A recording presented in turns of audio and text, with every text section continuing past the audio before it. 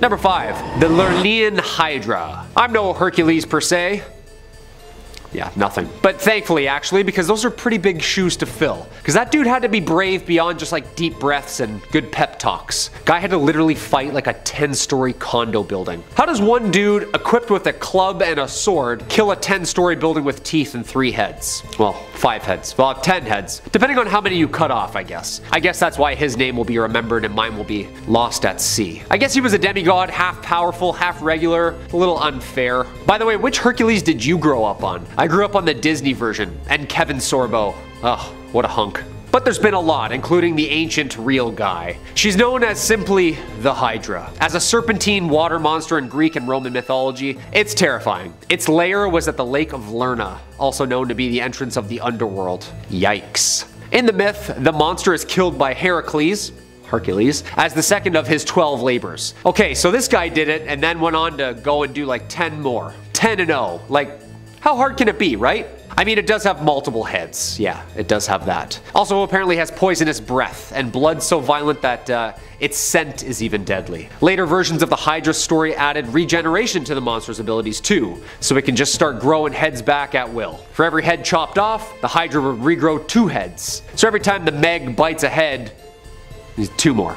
Another two are growing. Yeah, good thing this thing was hungry and swallows whales whole because uh, that's gonna be a lot of protein. Number four, Jormungandr. Keeping it in the mythology department, we head up a little north. Jormungandr, aka Huge Monster, also known as the Midgard Serpent or the World Serpent. It is a sea serpent and the middle child of Loki and giantess Angrboda. And those middle children, huh? Always the problem kids. I would know. I am one. According to the prose Edda, Odin took Loki's three children by Angrboda, Fenrir, Hel, and Jormungandr, and tossed Jormungandr into the great ocean. The serpent grew so large that it was able to surround the entire earth and grasp it in its own tail, as it's referred to as well, the world serpent. And apparently, when it releases its tail, Ragnarok will begin. Yeah, basically a destruction to the end of the world. Yeah, all this rich history is so heavy and gloomy, isn't it? Isn't there like a, the sun will shine like California for all to enjoy? Like, where's that written down? Nowhere, huh? Just cataclysms and monsters. Jormungandr's arch enemy is the thunder god Thor. And apparently a megalodon too. Cause let's face it, a giant serpent versus a four story great white, it would definitely be a good fight. I think if Thor showed up and started smashing up both, it would literally be the best Marvel Universe movie yet. Another encounter comes when Thor goes fishing with the giant Hymir. When Hymir refuses to provide Thor with bait, he strikes the head off Hymir's largest ox to use as his bait. Okay, easy, Roid Rage.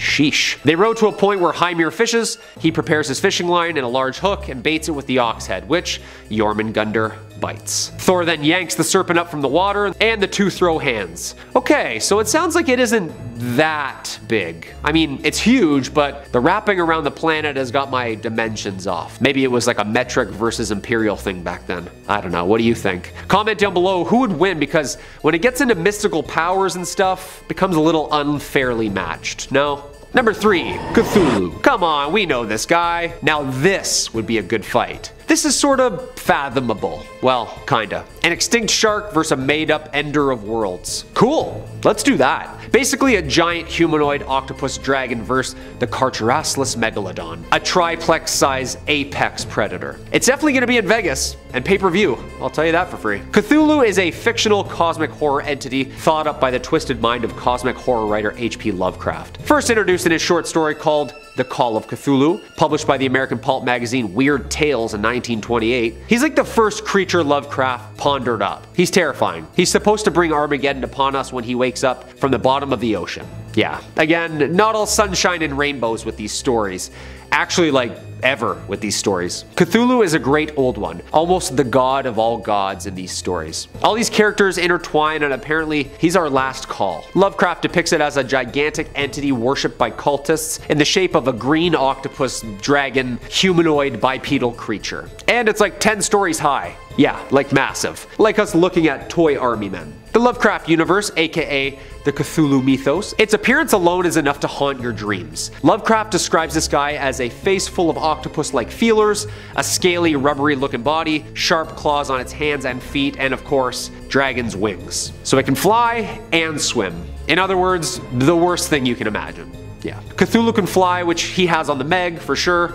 And also, the mind control. I don't know how sharks' brains works, but Cthulhu gets in there. Yeah, you're in trouble, Sharky. Number two, the Leviathan. Okay, so we're diving into some very sacred texts now. The Bible. In said pieces of scripture, there's a tale of a giant creature that could swallow up cities, apparently, and is also an awesome roller coaster at Canada's Wonderland. Gotta try it if you haven't been on it yet. This twisty, turny, vicious monster was actually modeled after this twisty, turny, vicious monster, the Leviathan, the second of the great monsters described in the book of Job. This Leviathan, Leviathan, is an absolute unit of a sea monster, who's impervious to literally any human weapon. I mean, what were the weapons back then though? Like bows and arrows, swords maybe, little pokey things, you know? It's not gonna do much. Apparently locusts too, yeah, those are terrifying. This Leviathan breathes fire. It emits smoke from its nostrils, and it's related to another ancient monster called Lotan, a seven-headed giant serpent who's represented as pure chaos. I mean, what Bible creature isn't terrifying though? Was this giant sea snake a water dragon? Because apparently it's something like 300 miles long according to the Bible. So it's like Jormungandr territory, but longer. Maybe it's the same creature, told by two different peoples? Mind blown. Again, the Megalodon I think would just chomp this thing and dive deep down to the Twilight Zone and it's lights out. We've seen Jaws, right? Yeah, picture that but like 40 times the size. Yeah, we're gonna need a bigger boat. Number one, Godzilla. I had to, obviously, we're having fun here today. Godzilla, yes, of course, the king of kings, aka Kaiju, originates from a series of Japanese films. The character first appeared in the 1954 film Godzilla and became a worldwide pop culture icon ever since. Appearing in a ton of different media, 32 films, 4 American films, video games, novels, comic books, TV shows, you name it. Godzilla has been, like I said, the king of king of all monsters. Of course, a phrase first used in Godzilla, King of Monsters. Godzilla is enormous. It's destructive. It's a prehistoric sea monster awakened and empowered by nuclear radiation. With the nuclear incidents of Hiroshima and Nagasaki and the Lucky Dragon 5 incident, Godzilla doesn't really like nukes. Yeah. The amphibious reptilian monster is basically based around a concept of a dinosaur, erect, standing up, very tall. Of course, a bony plated back and tail, and let's not forget the special abilities Godzilla has as well. Atomic heat beams, or as I like to call it, stank breath. Dude had tonsil stones so bad, nuclear energy generates from them. Well, not really, but inside of his body using electromagnetic force to concentrate it into a laser radioactive beam. Amphibious, of course, so it swims and breathes underwater, which is gonna come in handy. Immune to conventional weapons and can regenerate. Yeah, and it's massive. Of course, Godzilla was said to average around 150 feet tall. In the American version, Godzilla is like 400 feet tall. Like, just a little bit bigger. This is kind of a no-brainer here, obviously, right? This little sunfish would have nothing on the king. Number 5 on this list is the Loch Ness Monster. Nessie, as many people refer to this creature, is said to be a huge, long-necked, almost dinosaur-looking creature that lives in Scotland. This creature of the deep specifically resides in Loch Ness, a 37 kilometer loch located in the Scottish Highlands. The legend of this sea creature went worldwide back in 1933. A photo was released to the public showing a strange creature's head protruding from the water of Loch Ness. The world went into a frenzy after that photo got out and the legend of Nessie began. Ever since that point, many sightings have been reported, other pictures have been taken, and even sonar readings have indicated this creature swimming in the loch. All of that being said though, we've never had indisputable proof that Nessie's real. Well, I'm here to tell you that Nessie is real, but maybe not how you expect. New Zealand scientists have taken samples of the water in Loch Ness and have studied the DNA that they found in it. Professor Neil Gemmell, a geneticist, is quoted saying, well, our data doesn't reveal their size, but the sheer quantity of the material that says we can't discount the possibility that there may be giant eels in Loch Ness. Therefore, we can't discount the possibility that what people see and believe is the Loch Ness Monster might be a giant eel.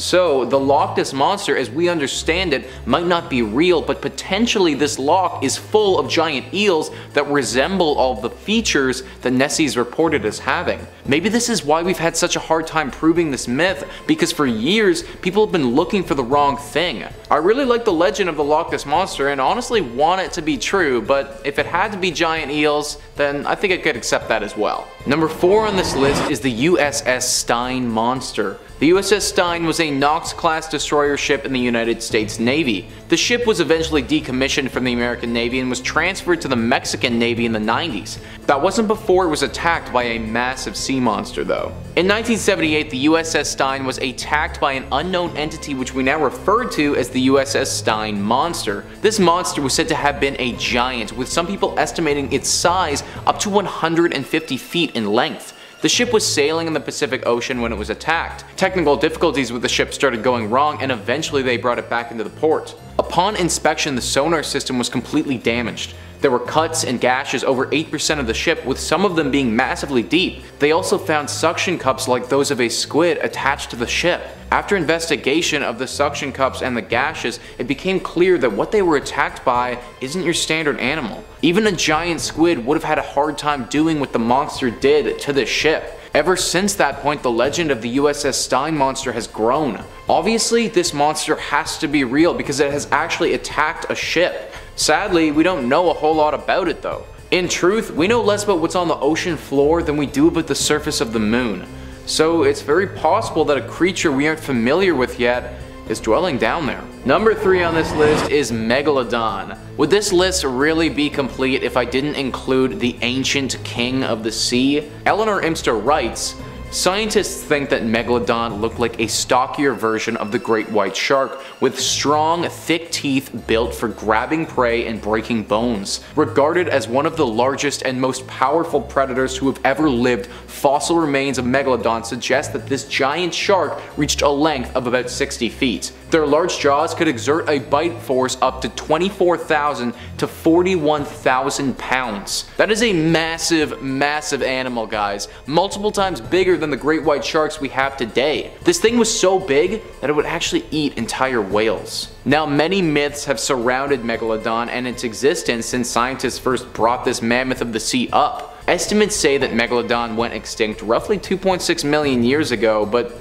some people don't buy into that theory. For quite a while now, the legend of a giant shark still living amongst the ocean has had a lot of people wondering if it's possible. If Megalodon was still alive, is it possible that we still wouldn't know about it? How could we miss a creature this giant? How many of them would there be left in the waters? There are surely a lot of questions that come up if you believe Megalodon is still a reality. If this creature was still alive, then people think the Marianas Trench is where it's located, a place so deep and uncharted that it's hard for us to know for sure what's down there. I'm personally not convinced this creature still roams the ocean, but comment down below your thoughts. Is Megalodon still alive? What do you think? Number 2 on this list is the Kraken. The Kraken is one of the largest sea monsters that is said to exist. It all started in Nordic folklore many hundreds of years ago when sailors told tale of a massive beast that preys upon the waters of Norway, Greenland, and Iceland. This fearsome beast was said to pull entire ships to their doom and eat every human on board. The first account of the legend was in 1180 by the King of Norway at the time. Since then, sightings of the creature and lore surrounding its capabilities have grown through the years. Fiction writers and movie makers have also latched onto this creature and included it in many stories. As cool as it would be though, to our current knowledge, the Kraken itself isn't real. However, something similar to it definitely is. The giant squid. The giant squid is a massive squid that's said to be able to grow up to 13 meters in length. Sightings have even put this creature at 20 meters before, but those have never been proven. Even if 13 meters is the maximum length, that's still a large animal and something that would frighten anyone if you're seeing it for the first time. Many experts believe that the legend of the Kraken happened when Norwegian sailors stumbled upon this giant squid, and rather than name it a giant squid, they called it the Kraken. As time went on, the legend spiraled out of control until we got this massive sea monster which attacks boats. Now even though that might be a bit far from the truth, could I believe that there was one giant squid that was potentially bigger than the rest? Absolutely I could. I could also believe that this giant squid might have attacked a ship or two in its time and maybe even brought one down. If it did do all of that, then there really wouldn't be any difference between this squid and the kraken. Either way, if you see a massive sea creature with tentacles coming after you, I'd just swim the opposite direction. Number one on this list is the Hook Island sea monster. It was first spotted by Robert Le Serrec in 1964 off of Hook Island and after he saw the monster, he went on to describe it in detail. He said, It was only when we got to within 20 feet of the serpent that we could see its head clearly. The head was large, about 4 feet from top to bottom with jaws about 4 feet wide. The lower jaw was flat like that of a sandfish. The skin was smooth but rather dull, brownish black in color. The eyes seemed pale green, almost white. The skin looked more like that of a shark than an eel. There were no apparent scales nor did we see any parasites around. We supposed the flexible tail would have shaken any off. There were no fins or spines, nor were there any apparent breathing openings, although there must have been some. Perhaps we didn't see them because our attention was focused mainly on the creature's menacing mouth, the inside of which was whitish. The teeth appeared to be small. A fragment of some dark substance hung from the upper row of teeth, possibly a fish. As the monster was lying on the sandy bottom, we could not see the color of its belly. The creature was about 90 feet long. Behind the head, the body was about 2 feet 4 inches thick and remained that way for about 25 feet. Then it gradually tapered into a whip-like tail. The general color of the body was black with 1 foot wide brownish rings every 5 feet the first starting just behind the head. The skin was smooth but dull. So that's his description and after he and his family saw it, he took some pictures of the creature to prove his claims. We have to remember that these pictures were taken in 1964 and doctoring them would have been far more difficult back then than it is today. I also tend to believe this claim more than most based on the level of detail he described the beast. Obviously it was pretty jarring experience if he was able to describe the creature in that much detail. Since the claims, people have researched Hook Island for this monster, but with no luck. Hopefully one day we can spot this monster again and know for certain that it truly exists. Number 5. Goblin Shark. Under the sea is where nature starts to really let its creative juices flow. It's just an abstract world of tentacles, feelers, and razor sharp teeth down there. Like a Jackson Pollock, but for things that'll bite you. I know that little crab said it's better down where it's wetter, but I just don't know if I agree if things like the goblin shark are swimming around freely. I know that sounds kind of like I have a strong opinion about these things, and I do. The goblin shark is probably one of the scariest looking living creatures on the planet. The translucent skin really isn't helping matters. I mean, seriously, Google, try and find a cute photo of one of these things, even a little baby. Every single picture of it makes it look like something H.R. Giger would look at and think, hmm, maybe tone it down a bit. The goblin shark gets its name from its grotesque appearance. Sorry to all our goblin shark viewers, it's nothing personal. Its elongated nose and its unique unhinged jaws full of nail-like teeth. That nose isn't just for show either. It actually serves as a little prey detector for the goblin shark. The nose is filled with electroreceptors that allow it to pick up tiny electric fields of prey. It sneaks around the seabed using that little food finder to sniff out its next meal.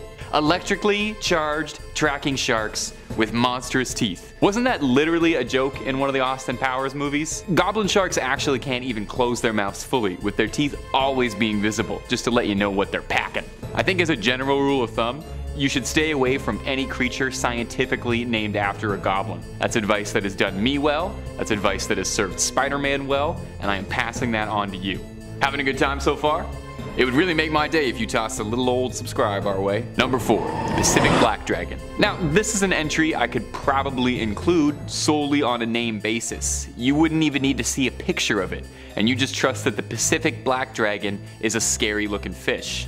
However, I'm a visual learner, and you're watching a YouTube video, so we're going to include several pictures of one of Mother Nature's most precious little abhorrent monstrosities. Take a look at this thing. Uh, you would be forgiven for thinking that this thing popped out of that one guy's chest in Alien, because it looks way more like a chest burster than it does a fish. And for those keeping track at home, that's my second reference to the 1979 sci-fi classic, and it probably won't be the last in this video. This angry little noodle, occasionally referred to as the black sea dragon, gets its name from the fact that its skin absorbs 99.95% of the light in its habitat, which happens to be anywhere from 1600,000 feet to 6,000 feet below the depths. Meaning this thing is dark. It hides in plain sight in the pitch black water, letting the bait hanging from its chin attract prey. Smaller fish swim up to what they think is something appetizing, and then the last thing they ever see is two beady little glowing eyes and then nothing. While this little fish is one of the smallest monsters on our list, I don't trust a fish that learned how to fish. There's something traitorous about that behavior. And honestly, maybe it's shallow, but I just can't move on from how truly horrifying this thing looks. I'm vapid, I can admit that. And I would love to see the Megalodon snarf this thing up. Number 3. Japanese Spider Crab. How do spiders manage to get into everything? Doesn't matter where you are, you will find a spider crawling around in your apartment, up your shower, on your walls, on the toilet seat. I thought we would have been safe at least in the ocean, but I really should have known better. Introducing the Japanese spider crab a creature pulled directly from my nightmares and my therapy sessions. These things look like they crawled out of the dankest depths and can grow up to 12 feet long. They can grow up to be 40 pounds, and if somehow one of its many legs gets severed, they can just regrow those no problem when they molt next. They're not just one of the longest crabs in the world, they also have possibly the longest lifespan of any crab, with a spider crab living to up to 100 years old. You're telling me there's a crabby longlegs walking around out there who was born in the 20s, still kicking about on the ocean floor, moving his little bowler hat, spinning his little crabby cane. Now, a little bit of cursory digging taught me two things about the spider crab to put my fears on ice. Apparently, these monsters, despite their outward appearance, are completely benevolent and are more content to scavenge around the ocean floor looking for scraps than they are ever likely to interact with a human and are actually considered to be quite lazy by crab standards. Apparently, they taste amazing and are considered a delicacy in some parts of Japan. I know for me, a key part of exposure therapy and getting over any of my fears is to eat my fears, slathered in a buttery reduction, uh, prepared over rice, maybe with a nice soy sauce. I'm looking at more pictures, and maybe I was totally wrong about the Japanese spider crab. I'm also very tall in a way that concerns people, and I'm very lazy, usually scavenging for my next meal as well although I am hoping that my next meal is a spider crab sushi combo. Number 2. Stargazer. The stargazer is a fish that's got a face only Mother Nature could love, and even then, it looks like she might not be that generous. This thing kinda looks like if you buried a pug up to its face and then left it out in the sun for a few months. I don't think it's even too much of a stretch to say, this might very well be the ugliest fish on the planet. Now, it's not a crime to be the ugliest fish on the planet, and you certainly wouldn't make a list of terrifying creatures just for being a little bit ugly. The stargazer earned its place on this list for also being one of the meanest fishes out there. Oh, it's always the ones you least expect. The Stargazer has defensive capabilities that make it sound a lot more like it's a Pokemon than a fish. These things will bury themselves in the ocean floor, turning themselves into a little trap and then using their massive mouths as a vacuum and sucking their unsuspecting prey right up. And if that wasn't enough of an evolutionary selling point for you, the Stargazer also has electric organs at the top of it, which transmit electric shocks to predators. That's a nasty little guy. And the name Stargazer comes from the fact that when it's burrowing, it buries itself down, and the only thing peering out is its ugly little eyes peering upwards at the sky, or the stars. I gotta say, I got absolutely no love for these things. I like that they're very ugly, that's charming, but the rest of it, no. They're like scaly little zappy landmines. Number 1. Portuguese Man-o'-War. Of all the things on this list, the Portuguese Man-o'-War seems like it's the most not from this planet. It looks beautifully ethereal, like something you'd see floating around in the background in a Star Wars planet or maybe hanging out with the blue things from Avatar. It's a truly cosmic looking wonder of nature. However, it is anything but. The first clue should be the fact that it is named after a 17th century battleship. It looks a bit like a jellyfish, but in actuality, it's a strange little colonial organism made up of smaller organisms called zooids. See, th this already sounds like I'm talking about an alien, a zooid. You gonna look me in the eyes and tell me a zooid is real? This thing actually isn't even an animal per se, but three organisms in a trench coat trying to sneak into the movies. The main zooid is a gas-filled translucent sac, which coincidentally is uh, what my 10th grade gym teacher used to call me to motivate me to run around the track faster. The gas-filled sac allows the colony to float. The man-o'-war has no means of movement, instead having to rely on the currents of the ocean to direct it around. Real go with the flow type of organism. Not a bad attitude, to be honest. Now the next zooid, oh, I am never gonna get used to saying that are the tentacles, which are really the star of the show here. The tentacles on a man of war reach lengths of up to 165 feet. Now I'll run that by you in case you heard that, fainted, and didn't quite catch what I said. Get up off the floor. Their tentacles can get up to 165 feet long.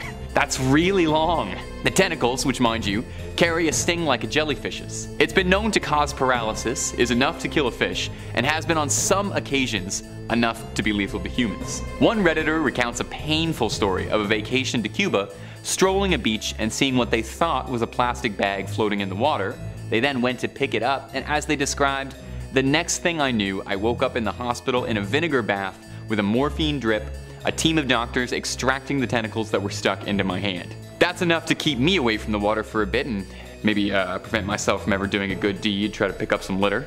I feel like even the Megalodon might want to be careful around this strange monster. Number 5. SCP-1128. Number 5 on our list, 1128, is a terrifying entity that manifests itself as a colossal aquatic predator. It's sometimes described as a being similar to a shark, only in a more grotesque and twisted appearance, with common descriptions across all sightings being a mouth full of teeth. The entity manifests itself as an aquatic predator to anyone who is given a full description of the beast's appearance, either through a written description or a spoken description, so Sorry, sorry for describing it. Few surviving subjects have described it as resembling a massive monstrous deformed shark. Once a subject is exposed to detailed knowledge of 1128, they become infected by its latent psychic ability, forming a connection. From here, no immediate abnormal changes in behavior or occurrences are present, with the only notable variance being a hesitation to enter bodies of water, for good reason too. Once an exposed subject submerges themselves completely in water, they are caught by 1128. Any submerged water is enough. Subjects are taken mysteriously to an ocean, the location of which is redacted by the Foundation. From here, you are hunted by SCP-1128. The Foundation patrols this unmarked ocean in a desperate attempt to contain the creature and protect anyone unfortunate enough to be caught in its trap. It's difficult to interview subjects after an exposure, as any detailed description of the encounter does run the risk of contaminating more Foundation members. Should a member or subject become infected by SCP-1128, treatment is immediately advised, with Class C amnesiacs being used to try and block memory of the entity. So, maybe for your sake and my sake, try to forget number 5 entirely, for your own safety. Now the Foundation does advise that if you've been enjoying the content that we produce, you should toss a subscribe our way. Number 4. SCP-1451 SCP-1451 is an odd one even by Foundation standards. SCP-1451 presents itself as a set of 26 metal statues at the bottom of the ocean. All appear to be statues of children of varying heights. The statues are all standing in a circle, holding each other's hands and facing outwards in a ring formation. Should any object, living or otherwise, with a mass greater than 40 gram enter into the ring, SCP-1451 begins to animate. The statues will shift themselves in a counterclockwise movement. Their hands will raise and lower slightly, and bubbles can be seen protruding from their mouths. Once it becomes fully animated, SCP-1451 displays advanced strength and tactics, being reported to use various martial arts to dispatch targets, pressure point application on humans, and precise strikes on machinery. They move in perfect unison and coordination, with some speculation that they operate on some level of hive mind mentality across the 26 individual entities. Once SCP-1451 has begun its hunt, it will not rest until it has disposed of whatever invaded its territory. The Foundation refers to three states of SCP-1451. Class 1 is the initial ring of statues in its inert state, Class 2 is the slight animation and bubbling seen present, and a Class 3 situation is when an active hunt has begun. To try and prevent a Class 3 situation, the SCP Foundation has installed a sphere of wire mesh netting to ensure nothing too large enters the ring. Natural water currents and oceanic movement aren't to be obstructed. The creature does need to eat sometimes. Number 3. SCP-835 SCP-835 manifests itself as a large cluster of polyps resembling a species of coral, although it's significantly larger than any discovered species of coral. The center mass of the cluster is a very large oval with 3 meter long polyps at each end. SCP-835 does not move, instead anchoring itself to the ocean floor using heaving tentacles that protrude from the polyps. The tentacles are coated in an adhesive substance and have been shown to be incredibly strong, capable of damaging bulkheads and steel. The coral base of SCP-835 is extremely durable and resistant to most attempts to collect any tissue samples, with the Foundation having to use high-powered diamond drill bits to collect even small samples of DNA. SCP-835 emits a large mass of semi-liquid material several times a day from each polyp. The toxic substance appears to be a mixture of digested solids, fecal matters, several bacteria, viruses, and parasites, with many sequences having originated only from 835. So what exactly makes SCP-835 so threatening? Well, sample reports from SCP-835 have shown that it's comprised almost exclusively of human DNA. Its hard shell seems to be recycled tooth enamel, its tentacles matching human flesh. A level 4 clearance declassified document from the Foundation detailed an encounter with an underwater isolation team, in which an incident in which two members of the isolation team were swallowed by SCP-835. Pulled in by its tentacles deep underneath what they had initially thought to be a cave, but realized was the contents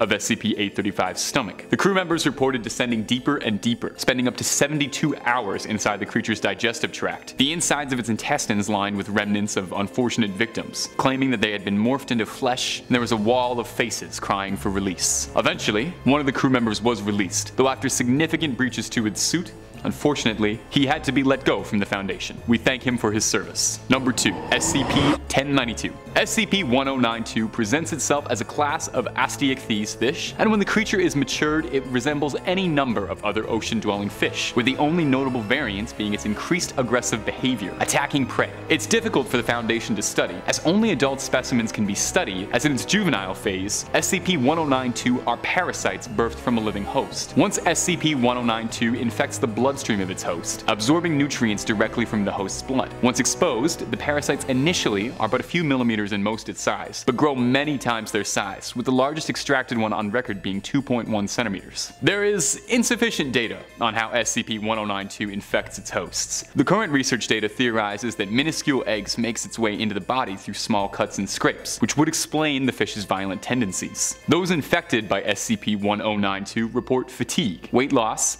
and increased appetite, and in many cases report a feeling of something fluttering or squirming inside the body. However, this is not present in all cases, as there are reported case files of hosts not experiencing any visible symptoms whatsoever until the parasite has unfortunately matured to its adult aquatic stage. Once the parasites have matured, the now adolescent creature will try to forcibly remove themselves from the physical body of their host, using their sharp teeth to cut through blood vessels and skin. Subjects at this stage will sustain injuries, severe blood loss, and in some cases worse. Thankfully, the SCP Foundation has effectively secured SCP-1092, keeping it housed in a completely watertight cell, where it is given the occasional domestic pig to act as a host for its reproductive cycle. Poor little piggy. Thank you, piggy. Thank you, Foundation. Number 1. SCP-3000. SCP-3000 is one of the most powerful SCPs currently being monitored by the Foundation. SCP-3000 is a Class 8 cognitohazardous entity and is a Level 5 classified document. I really shouldn't even be talking to you about this, but it's good to get this information out there. It is a massive, massive aquatic sea serpent that closely resembles a moray eel, only gigantic. There's been significant difficulty in efforts in trying to document its true size, but it is estimated to be anywhere between between 600 and 900 kilometers in length, with its head measuring roughly 2.5 meters wide and its body as large as 10 meters in diameter. SCP-3000, thankfully, is typically a sedentary creature, not moving much at all, usually only responding to feeding. The majority of its body rarely moves. SCP-3000 has been known to be carnivorous, and when it hunts, it has been known to move exceedingly quickly. Fascinatingly, despite its gargantuan size, SCP-3000 does not appear to need sustenance to maintain its body's function, and thus its digestive process is unknown. Although complicating matters slightly is a process wherein SCP-3000 disperses a thin layer of viscous dark gray sludge through its skin whilst it consumes its prey. It doesn't stop there though. SCP-3000 has been recognized to cause severe mental damage in those who research it. Direct observation and study has been proven to cause mental alteration in Foundation researchers, experiencing paranoia, fear, anxiety, memory loss, and most worryingly, inexplicable severe headaches. It's unknown how SCP-3000 causes this, but the theories are that it has a latent psychic ability. There are some who believe SCP-3000 could be an old god that has found its way into our world. The creature is too immense to be contained in any Foundation facility, instead being kept in a clandestine area of the Bay of Bengal in an area barred from the public, routinely patrolled and surrounded by Foundation vessels. Be extremely thankful that the brave members of the Foundation are researching and containing this. Secure, contain, protect. Those are the goals of the Foundation.